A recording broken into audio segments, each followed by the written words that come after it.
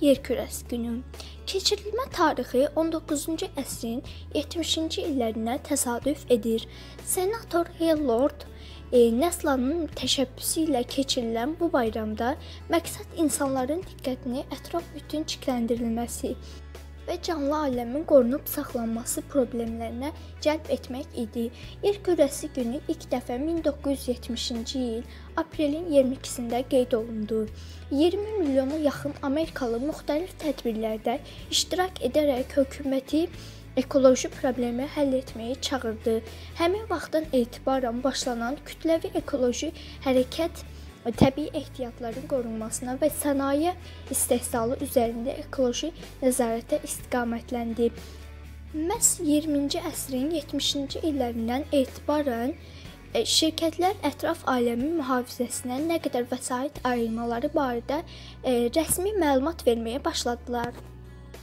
İlk ağac günündə ştatın əhalisi təqribən 1 milyon ağac əkmişdi. 1882-ci ildə Nebraska ştatında Mortona'nın şərəfinə onun doğulduğu 22 aprel günü rəsmi olaraq ştatın bayramı elan olundu. 1970-ci ildə ağac gününün adı dəyişdirilərək Yer kürəsi günü adlandırıldı. 1990-cı ildən başlayaraq Yer kürəsi günündə milli parkların salınması, ətraf mühitin əvvəlki vəziyyətinə qaytarılması mövzusunda gündəmə gətirildi.